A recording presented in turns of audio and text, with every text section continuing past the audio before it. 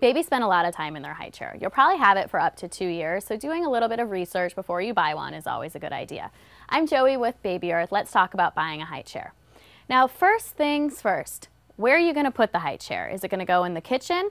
If so, how much room is in the kitchen? Can you fit a big one like this, or do you need something a little bit more compact like this one over here? So once you decide what size you want, let's think about price. High chairs can be anywhere from $100 up to 400 or more. So really set a budget and think about what you want. Now, things that I would keep in mind when buying a high chair is cleaning. Babies are very, very messy, so you want to have some material that's easy to wipe off and maybe some, remo some removable cloths or something that you can just throw in the wash. So I keep that in mind. Another big thing is the tray, because this is where all the mess happens. You want to have a nice lip on the tray. I like this height chair because this actually removes and can just be thrown into the dishwasher. So that's also nice. Uh, some parents like to have babies sit at the table with them. So a height chair like this that doesn't have a tray, this one will actually slide right up to the table. But keep in mind that babies like to bang on things and make noise, so they could ruin your table.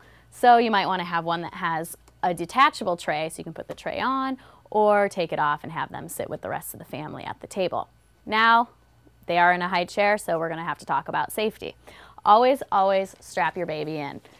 This is a this one has a five-point harness, which keeps it really baby safe when you strap them in. And also, you want to make sure that it's got a wide base and it's really sturdy. So you can kind of wiggle it around so when baby's moving around, it's not going to tip over and they're not going to be able to get out of it on their own. And lots of babies like to slide down, so please make sure that there is leg straps at the bottom to keep them in safe.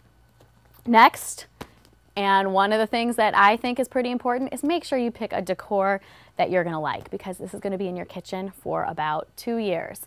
And some high chairs do fold up, so find one that you can fold and maybe put out of the way if you don't want it sitting out all the time. Well, I hope you learned a little bit about high chairs. I'm Joie with Baby Earth.